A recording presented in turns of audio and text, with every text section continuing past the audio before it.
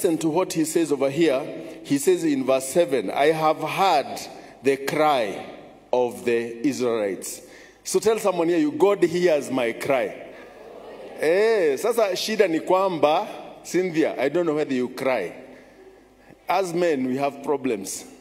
Tuna, tulifundishwa tukiwa watoto kulia dani.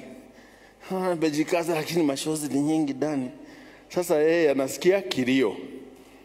Yeah, the Bible says in Psalms, the one who made the mouth and the ear, he speaks and he hears.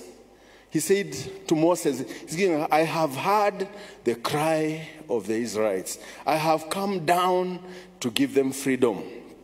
And he gave Moses an assignment. He said, Moses, I know you ran away from Pharaoh. Now go back and tell him, set my people free. So God, this God who renews himself is about freedom. He God who wants you to be free. John 8, 31, 32, he'll tell you the truth, and the truth will set you free. Verse 36, if it is the Son of God who has set you free, you are free indeed. You cannot be bound anymore when you know the truth. So today, we are looking for that truth. Because when we have the truth, no one can put us behind.